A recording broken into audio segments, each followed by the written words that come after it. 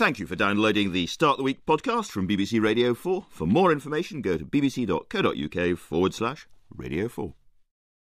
Hello, well, these are hard economic times for Britain, but the country is apparently still proud of its design and creativity. Indeed, a new survey exciting some newspapers today suggests that, partly thanks to that, Britain is a world leader in soft power.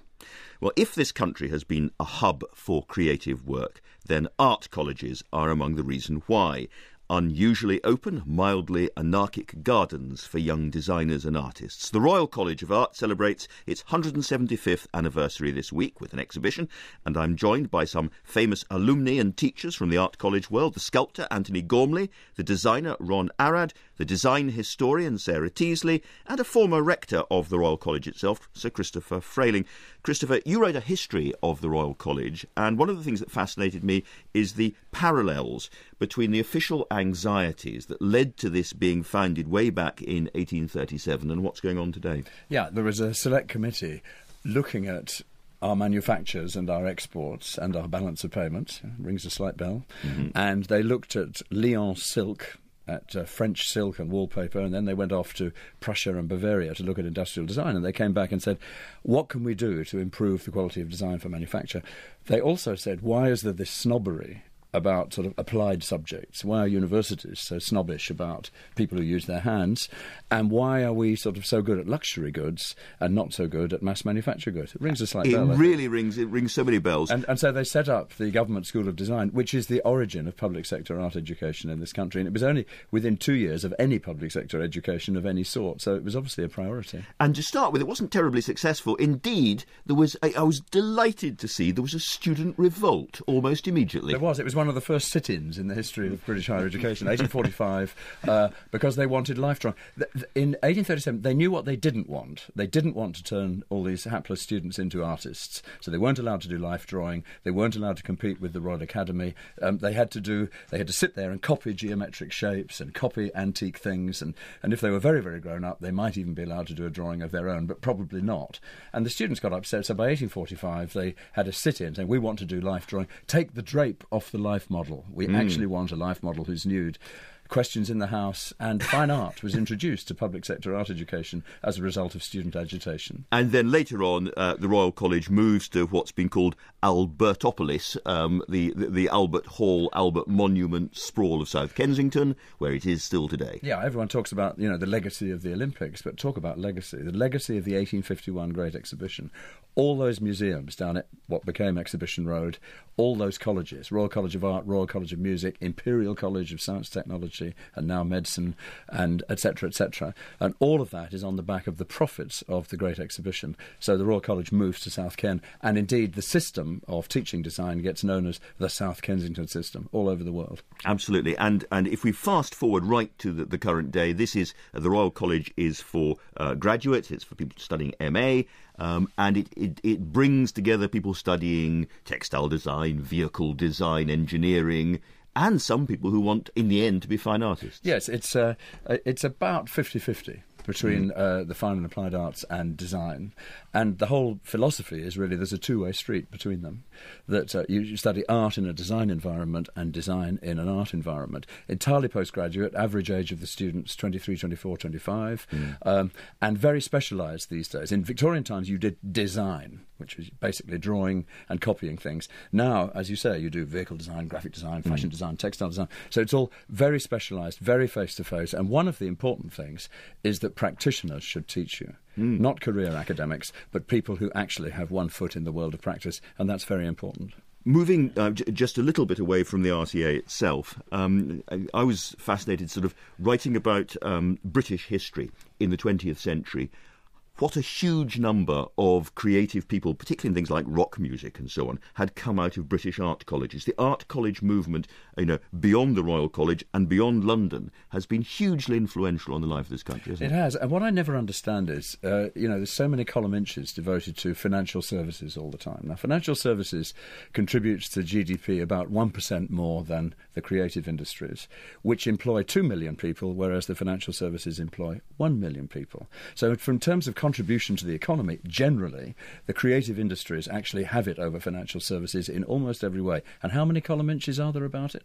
Very little. Mm. So, you're quite right, this huge impact, but people don't seem to be noticing. Antony Gormley was nodding there. Yeah, I think that um, you know that extraordinary burst of creativity of the '60s in music, particularly, couldn't have happened without art schools. I mean, if you think of uh, kind of Bryan Ferry, if you think of David Bowie, I mean, all of them came out of the liberal art college education, mm. where uh, anarchy was the the idiom. There's almost not a, ba- a, famous band which isn't out of an art college, or some of whose members aren't out of an art college from that period. Actually, absolutely, and I think that I mean I think that underlines the, the the, the culture that there was this sense that actually making a future doesn't come out of uh, doing things well that have already been done, but trying new things, and that's what was really encouraged in art school. Mm. Uh, Ron Arad, you actually were, were, teaching at the Royal College. Uh, can you just reflect a little bit on the tension, if there is a tension, between the old skills um, or the traditionalist skills of the fine arts students sitting there and um, engineering and design, um, and the danger of separating those things? Um, yes, uh, I took. I was. I found myself at the college. I didn't plan an academic career. I didn't want to teach at the college, but I was asked, and I said, "Okay." and I had to persuade him. Yeah, and, I, and I, inherited a course that's called furniture, not even furniture design, which means teaching people how to dovetail and how to make wooden things. Mm. And there was the industrial design course that was about how to skin hair dryers, and uh, at that time, and I said, "Okay, we'll we'll do it." And then to my surprise, everything I wanted to do, Christopher said, yes, okay. Hmm. Why don't we join the two courses together? Why should, which is the opposite of what you talked about before, which is specializing. Hmm. I'm against specializing. I'm against creating a course that teaches one thing or that it, it's about one trend or one sort of manifesto, one look. So, I mean, I, very much I copied the AA where I studied, which was a very pluralist place. You had lots of contradictory things side by side, mm. and it was all about choice. We could never tell if, if Alvin Boyarsky, that was the, the chairman, was totally indifferent to everything or a real pluralist. uh, so that's that's what I thought. So, it, I, I, so, so, so, the atmosphere, the, the, the the balance of having discipline and actual teaching versus a sense of possibilities and people running from one discipline to another, crossing boundaries, is, is, is crucial. Well, I didn't like the word boundaries. I didn't like all the discussions about breaking the boundaries, and because uh, the more you talk about them, the more you enforce them. And yeah. there's a lot of talk about about interdepartmental projects and things. It doesn't happen. The only time you see the other departments is when there's a fire alarm and everyone find themselves outside. Ah, you work here too. That's a bit unfair, but anyway. No, it yeah. is a bit. It is a bit. It is a bit unfair, but uh, it's such a. It used yeah, to be. A But you created, Ron, with your design products course, a kind of mini college in a way within your. You know, you got furniture at one end of the spectrum, and lots of gestural creative design at the other. So in a way, you created a little unit that was a microcosm of the whole college. Yeah, I thought the most important thing in, in designing a course is choosing the Choosing teachers going to be on it. Yeah. Was going to be first of all the the teachers, uh, and then you know we had to to choose people from opposing uh, directions. People you know like people that are very close to what I do, people that are completely on the other side. That's one thing. The other thing is choosing the students because this college is very much in demand and there's has a very good name and it's very prestigious, and lots of people from foreign countries. Mm-hmm. I want. I, I, definitely want to return to that point. I just want but, to bring, just, just, yeah, on, just sure. on the issue of, of appointing professors. I mean, one of the one of the tricks I thought was to bring in eminent practitioners and try and create a situation where they're protected from all the admin and desk work and committee work that submerges so many people in higher education. So, you know, in comes Ron, and then you appoint some number twos who are the sort of engine room of the department. So Ron can spend his whole time teaching. And that's incredibly important for the culture of art But schools also and a community very, very of rare. practitioners. It has to be said that that's what's that's what's under threat um, in the way that Sarah, Sarah Teasley. I was in, in response both to Ron and Christopher and Antony to what you've just said as well. Um, I think, I mean, one thing that comes out at the college when it's running well, and presumably at any art school, there's a sense that the tutors and the technicians and the students are in it together. Um, I think we sometimes describe it as a laboratory where everyone is experimenting and thinking and challenging together in the same place. And so, what you're saying about practitioners who are in the who are in the world of design and art, working alongside the students, there's a bit of mentoring, but there's also a sense in which the tu- the students, everyone is a professional together. But there has to be also that sense that actually your agenda setting, you are actually at the wave, and that wave is being seen, as it were, by the whole world. And I think that that, that sense of, um, well, I, th- I think I think Ron is is unique. I think that he created at the at the Royal College a complete mixture. I mean, I, I always used to say that design was there to make the, the, the the life of the world easier, and art was there to make it more interesting and more difficult. And I think that Ron never accepted that dichotomy and always wanted to make designs that made it more interesting and more difficult. I'd like to ask a little bit about the the mood um, for the students, the atmosphere, because Sarah, you write, uh, you've written one of the essays in, in the book looking at 175 years, um, uh, part of the exhibition, and you use a very interesting word, besottedness, which you pick up from a rather peppery-looking former director of the RCA, Robin Darwin, um, after the war, who said that students come to us because they are truly besotted in their work. So thank you for picking up on my favourite word in the essay. Um, I was determined to get it in wherever I could. Uh, The um, former rector of the college, Robin Darwin, um, has a wonderful quote where he says, Students come to the college because they're truly besotted. And then he goes on to say, But do you know what? This is actually a universal ideal. So, in a way, they're both being selfish in pursuing their dreams and they're doing something that's truly beyond them and contributing to society and the world. And I think it's a wonderful quote to describe the way that art schools work. You need to be besotted. We'd not be there if we weren't. I mean, it's not the financial sector. We're not brilliantly paid, but we're there because every day you go home, and if it's a good school, you go home saying, Good heavens, I, my mind is completely exploding But right going now. home is interesting because the only student trouble I had when I was rector was a little uh, uh, demonstration. Could we stay open after 11 o'clock at night, please? We want to stay in the studio. Complete obsession and commitment with the work, which I'd never, never encountered in the university sector. Well, I went to the drawing school um, uh, a little while ago, and there, relatively late in the evening, there was one dogged student refusing to leave because he was working so hard. Um, Antony Gormley, I mean, you went to uh, various art college, colleges, not this one, as a student. Um, that that sense of besottedness, the sense of, but you talked to quite a lot of people that going to art school was the most exciting time of life of all. Did you did you find that, or were you disappointed? Absolutely. No, I, I, I started at the Central and I found that over administered and actually rather boring. I, I, I just remember that very first um, yeah course, um, the first term. We were locked into a room. There were two white gloves. If you had a glove, you could work. You could work. If you didn't, uh, you had to watch. I mean, it was a, the most ghastly Skinnerist kind of behaviourist experiment. Anyway, I didn't last there, and then I went to Goldsmiths, and at Goldsmiths there was this absolute understanding that everybody there was besotted, but anyway, absolutely compelled by an inner demon to keep going and keep exploring and keep actually articulating what they were exploring, either by showing it or by talking about it. And in fact, the whole thing was really driven by the students. There was an understanding that the major energy and the thing that you the, the, the, the source from which you learnt most was the energy of your fellow students. And hmm. that was in a way the motivating the motivating factor. And i think what ron has just said that the most important thing is the constitution of the course. What what what the, the, the tutors can, as it were, provoke in the students, but then how you constitute in your in, in your interviewing process a a kind of chemistry in every year, and and I think that's um, then it's a self motivating principle. Christopher, for all those people listening who are thinking, well, that sounds a lot of fun. I'm, I'm sure it's very pleasant, but how can you possibly uh, tabulate or enumerate the, the, the, the, value of these places in, in, in hard times? You know, we need more engineers. We understand we need more people working with uh, uh, reinforced concrete to build us bridges and this and that. Um, what, what do you say to them? Just, just, just remind people what the value of art colleges has brought this country. In in uh, economic terms, um, the great debate since the 90s has been about the creative industries, this sector of the economy which is art, design, broadcasting, publishing, etc., right across the spectrum.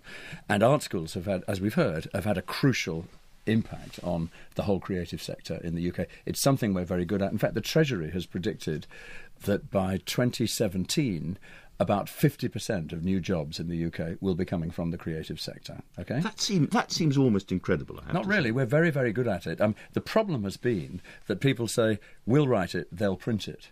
Mm. So we do all the ideas, we generate all the design ideas, and someone in China is going to do the manufacturing. D- Dyson creates his designs for, for, for, new cleaners, and they're made elsewhere because they have to be still. Yeah, and, and that was a disaster in many ways because it, it sort of uh, it, it, meant that design became this sort of abstracted thing that you do. You do all the think work in England, but the do work is somewhere else, and someone's got to try and bring those two elements of the equation together. But there's the creative sector is one aspect of it.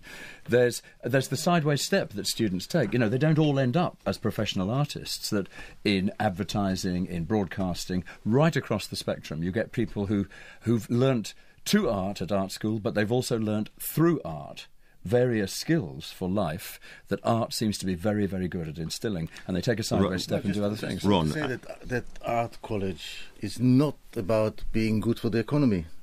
And, Absolutely. And I, no, I wasn't saying that. I was answering I, uh, I was, Andrew's I, point. I, was provoking that. I used to scare Christopher when I said yes. we take perfectly employable people two years and they're unemployable. I know he'd say that just as I was bringing a government minister around. No, but know, I, oh, I think terrifying. we mustn't get lost in this debate because I think that a good liberal arts art, art student life is a a a instrument for thinking. I mean, uh, allows you to um, yeah think by doing in a way that no no other education can. And I think that it also gives you the context if there are uh, you know v- very good theoretical courses that run by by the side of the doing, uh, a way of being circumspect about the kind of world that uh, that you're living in. And yet you can't get away from the fact that around the world, uh, Antony Gormley's um, and Anish Kapoor's and Ron Arad's uh, chairs and spectacles and, and, and, and bicycles are things by which Britain is now known, probably better known than any kind of cars or big companies, and that must have some effect on the way the country's perceived. Well, it's your soft power point again. I mean, it's art schools have been key whether, with that as well. Whether soft power includes any kind of power, I don't know, but Yes, I think there has to be an outcome, but I, I don't National like prestige. the idea. I don't like the idea that somehow you know uh, uh, you you you quantify the, the use of an art college um, by how many uh, you know places in industry um, you're you're providing. It's absolutely not the point. Mm. Sarah. I mean, on that on that point, I think there is the question about how does art college justify itself to the rest of the world will never go away. Um, that gives us a useful opportunity to continue. This is something that I argue in my essay. It gives us an opportunity to continue redefining ourselves, to continue advocating, and particularly now when arts funding and humanities funding um, from entire uh, the entire spectrum of not just higher education but primary and on up is in danger. Um, when government funding to humanities teaching has been essentially cut, um, and teachers in primary schools, secondary schools are finding music, arts, drama outside the new EBacc that's being proposed because we've got these challenges and because we're being asked to justify ourselves, it gives us the chance to make noise. Yeah, well, this is very interesting because here we are talking about how wonderful art colleges are and, and how important they've been to Britain just at the time when art and design has been specifically yeah. excluded from the new curriculum. Yeah, more than that. It's, uh, you know, the Browne Review of Higher Education, which was the basis for the restructuring of the fees and all these other things, actually has a paragraph where it says there are certain priority subjects in the national interest which will get special treatment science, technology, engineering, mathematics, and a bit of Chinese language, and, uh, and some healthcare.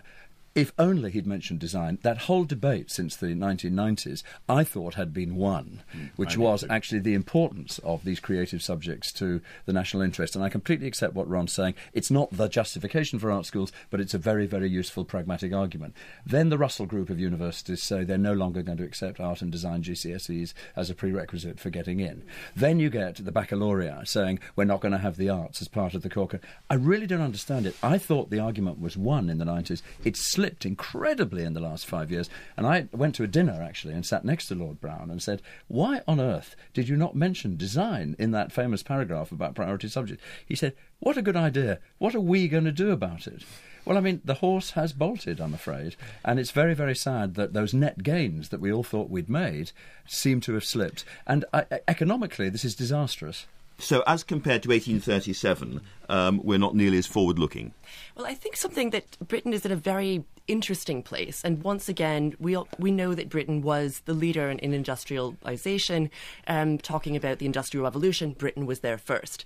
And since 1837, successive governments in Japan, in Korea, in China, and in the North America as well have said, how do we improve our manufacturing and our exports through art and design? What we've now got in Britain, and I think it's probably the first anywhere in the world, is the flip.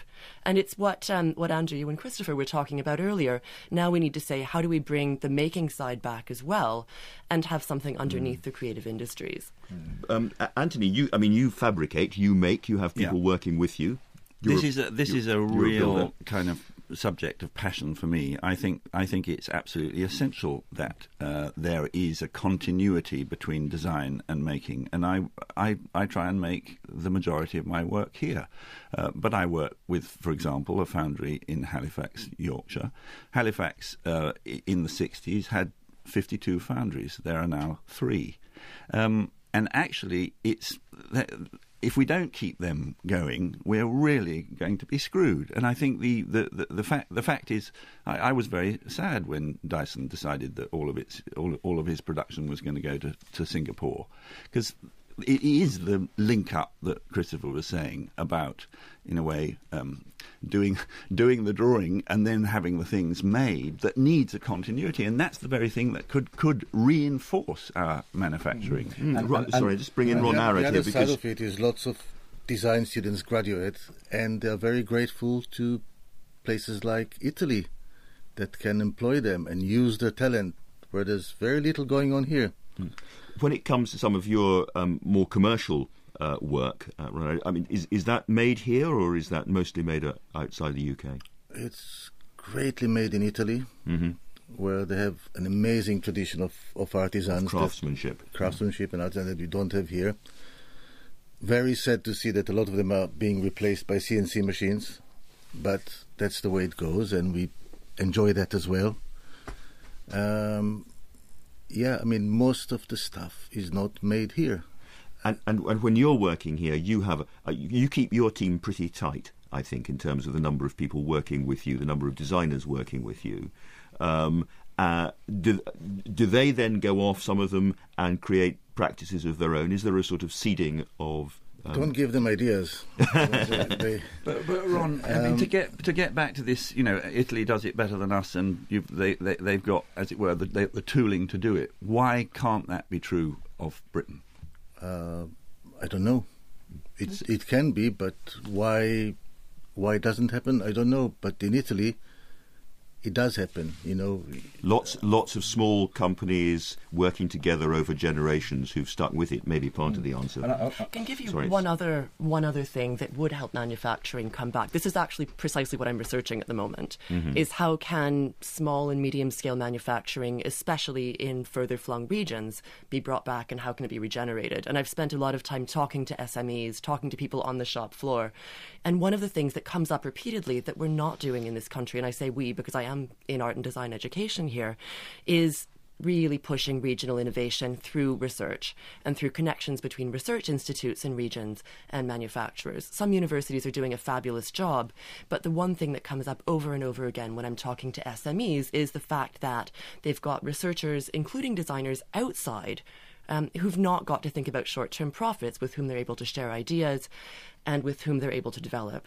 Mm. Well, I certainly Gorman. in in in building the Angel of the North, this was a totally linked up project between the, the parametrics department, the engineering department, the newly uh, the newly founded um, virtual um, uh, development department of Sunderland University, and with all of those working together, we got back the shipbuilders that could make the bow bulges to make its bum and make its head. You know, how how do you turn uh, six and a half millimeter ship plate into a compound curve? Well, you do it by spraying it with ice cold water and at the same time heating it with an oxyacetylene um, flame.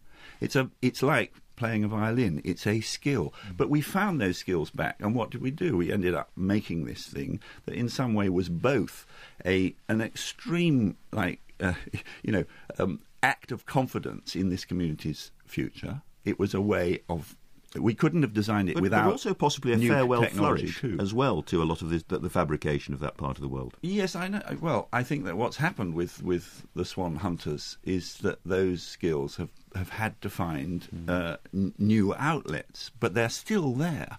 And my, I mean, my, my, with a new idea of what to do with them, they can flourish. And that's my point. That we don't have to say we can export it all, all that industry elsewhere. Uh, elsewhere. Christopher Frayling. And uh, others have certainly got this message. I, I, I gave a lecture a couple of years ago in Hong Kong about um, art schools in Britain and what they contribute. And I asked the Design Council how many design colleges there were in mainland China. And they said they thought 800, either growing out of engineering colleges or freestanding. So I said in the lecture, I gather there are eight, statistics are really difficult with China. Uh, I gather there are 800 uh, design colleges. Someone stood, excuse me, sir, 1,200. 1,200 design colleges in mainland China linked with small artisanal making and with manufacturing. They've certainly got the message. The message they hadn't got, we had a fascinating discussion. They said, Well, what sort of students do you get? And I said, Well, they're bloody minded, they're bolshy, they're angry, they love pushing the envelope. That's where you get an avant garde from, that's where ideas come from. It's sort of Ron's point.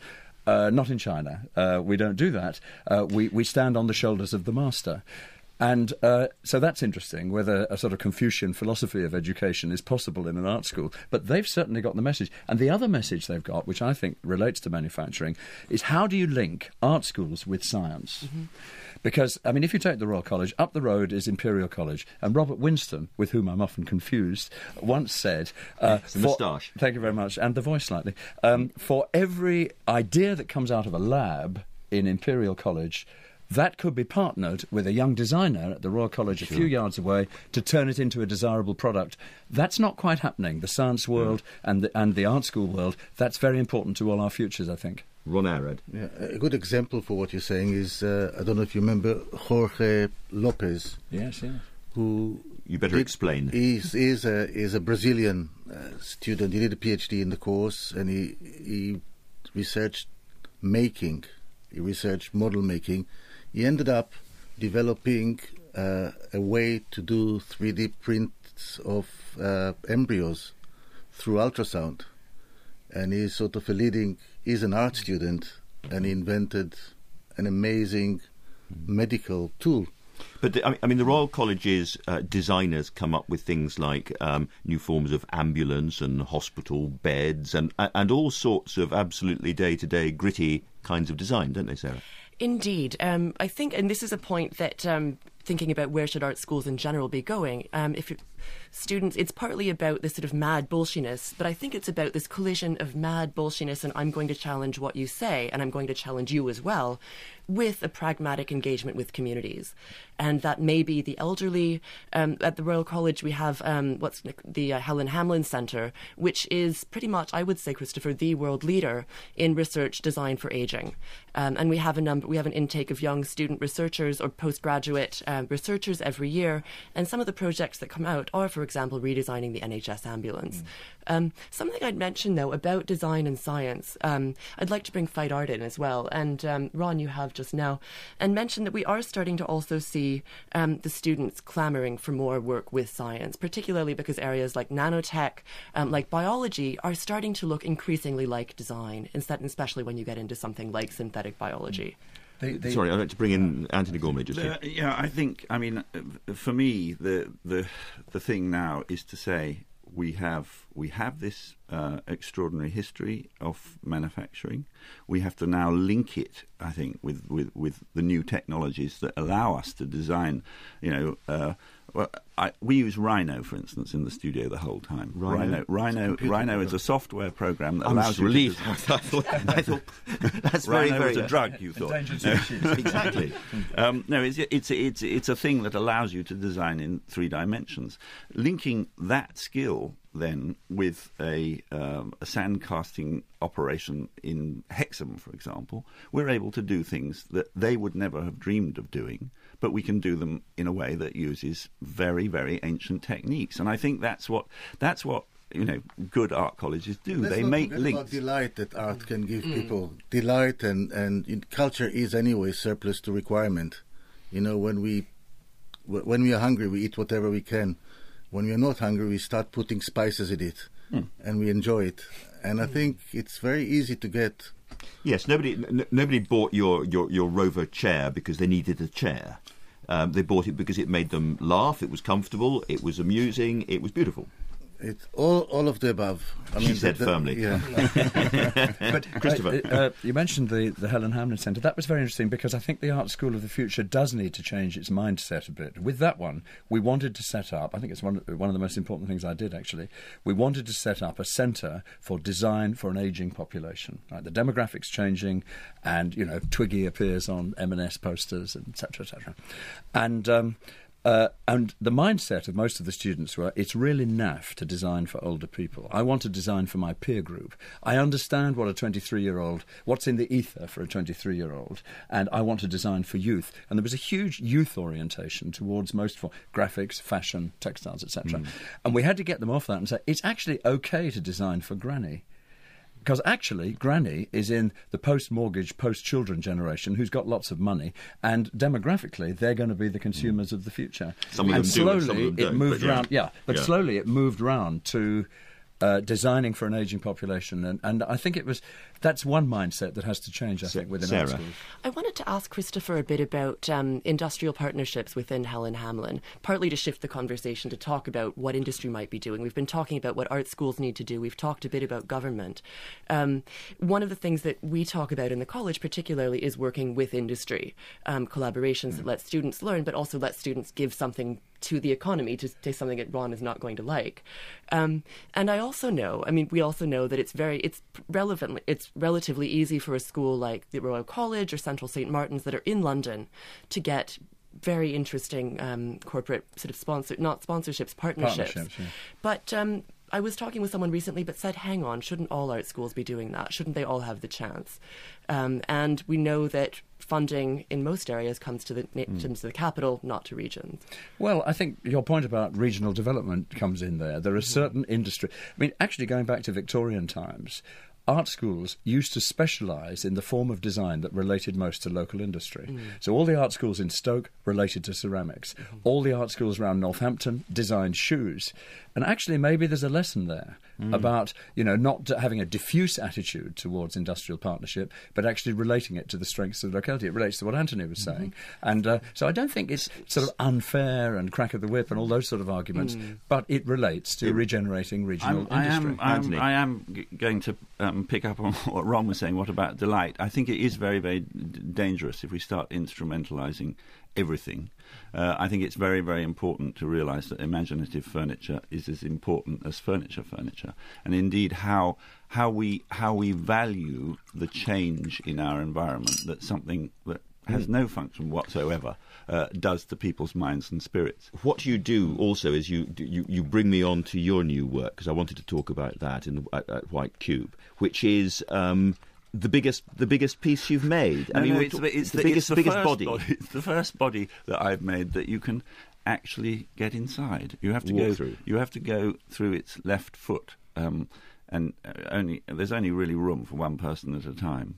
Um, but the but the the show is called Model, and I wanted to really think about what that meant. Um, I think there's a there's a sense in which the model is an ideal. You're you're you're aspiring to an ideal, but it's also in a way about a proposition, about a possible.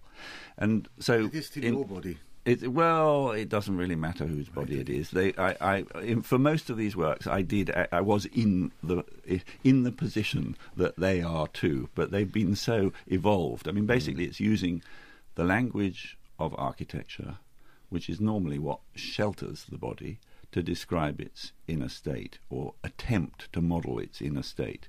And the big work, which is 100 tons of Corten steel, is 24 interconnecting chambers that make this reclining body uh, with that have more or less light.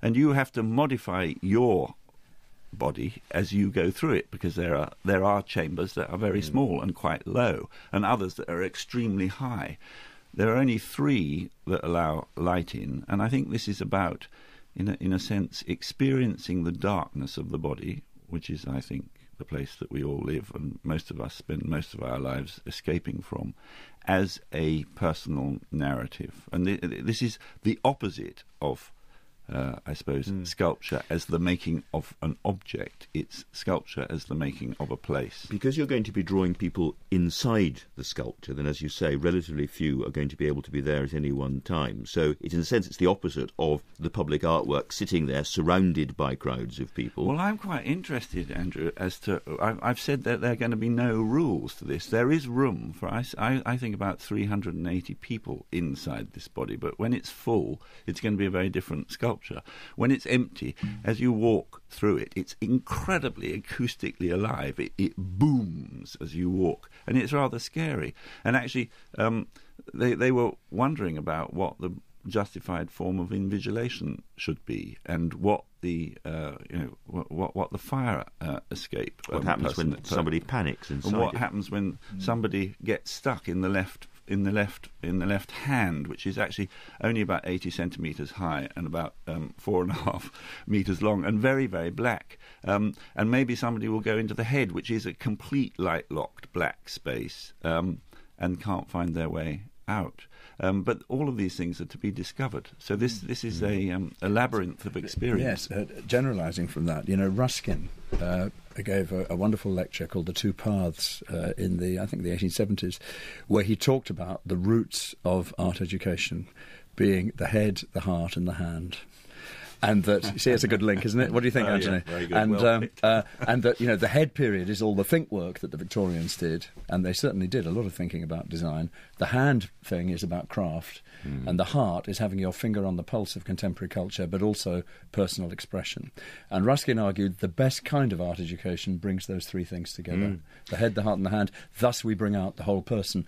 And I think, you know, there have been moments in the history of art education where one or other of those things has been overbalanced. Too much headwork in Victorian times, too much handwork in the arts and crafts period, and the heart really letting rip in all sorts of ways since the 1950s. A balance between those three concepts is, Very I think, the future of art education. And how does that relate, Ron Arad, when you're when you're thinking about a piece, when you're drawing a piece? um, and you don't know whether this is going to be a piece for um, mass consumption, which is going to be made and sold in shops, or whether it's going to you be. You do know. You do know right from the beginning. You said this is going to be a yeah, one-off I mean, art piece. I mean, it's not. It's not one or the other. It's sometimes this, yeah. and sometimes that. When you design for the industry, you have different things to consider, like the cost of production, the, te- the technology, mm-hmm. the the commercial side of it Nothing wrong with that. And when, when you design a medical equipment, you have to know how it's going to be used in the best possible way. I mean, you do something that's for spectacles. Let's talk about spectacles because that's a very interesting one. Right, uh, spectacles. Uh, so, so you approach spectacles and you ask some very, very basic questions about spectacles. You look at it. First of all, for me to design is to do something that did not exist before I designed it, and you look at spectacles, and everything is done and and the whole industry is based on retro of retro.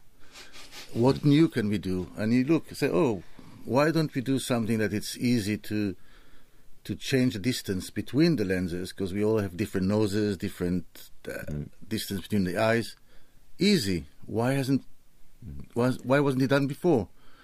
Another thing is if you go to a, to a place where they make spectacles, it's like it's made by slaves basically people that put white gowns every morning and just mm. deal with little fiddly screws. Why not make using techno- using uh, selective selective laser sintering, which is a form of printing objects. Why not make? Why not free the slaves and do uh, spectacles that are, are one piece, no parts, and we can do it with the geometry, with the materials, and it's not to be shown in an art gallery. It's to, be, worn stuck on your nose. Yeah, yeah, And yeah. It's not to say that we can't use the same knowledge, the same technology, the same sort of skills to create delight in, in different circumstances. so we come to the oddness, um, Sarah, again, of, of, of colleges. So that I, uh, lateral thinking is a stale phrase, but fresh thinking, um, the ability to think think sideways and, and, and, and freshly, um, is what you want out of art colleges. And and yet, um, the notion of a college, the pedagogic notion of a college, and that seems to be in contradiction to that. I I would beg to disagree on that one. In fact, I, I wouldn't beg to disagree. I will just disagree. Disagree away, Yes, yeah. one of the things when I was writing my essay for the um, our commemorative book, I, t- I spoke with a number of colleagues, and one thing that came up over again was um, that we're not in the business of preparing students for industry. We're in the preparing them to create the future. We don't want them to fit into what's already there. We want, and I have a great quote from a colleague who says, "We're not trying to usurp the mold; rather, we're simply not considering it." Um, so I think, I mean, you're right. There is a tension, but it's that sort of magical tension of pushing forwards and complete rigor and challenge. And why are you doing that? Um, that makes the school. Yeah, Christopher. there's a, there's a, I, I agree about the, the tension, although it is a, a dynamic form of tension. David Hockney, when he graduated from the Royal College in 1962, did a sort of bootleg version of his diploma. He stormed the printing presses and printed his own diploma, and on it he had a student being supported by the then rector, Robin Darwin, who you mentioned, bumping his head on the Royal Coat of Arms. And I've spoken to him about it, and basically, that he reckons is the whole tension of a place like the Royal College. Yes, there's the establishment bit, the lion and unicorn, the Royal Coat of Arms, royal, degrees, all that paraphernalia. But you bump your head on it. That's the point. That tension is what defines the college. That for him, uh, art education, the cardinal sin in art education is not having a strong point of view. If you agree with everything and the system is like sponge and goes in all the time, then you get nowhere. What you want is a collision between generations, and that's how you find your own voice. Final thought from Antony Gormley. My feeling is that art schools are the things that reinforce agency in the world. A good art student thinks that he doesn't have to fit into an already existing world, he makes his own, and that's what they're for. What a wonderful way to end what's been a wonderful conversation. Thanks to all of you, the designer and architect Ron Arad, Sir Christopher Frayling, whose latest book it was on craftsmanship, published last year, but he's also co-curated the current Hollywood costume show, which is wowing them at the V&A.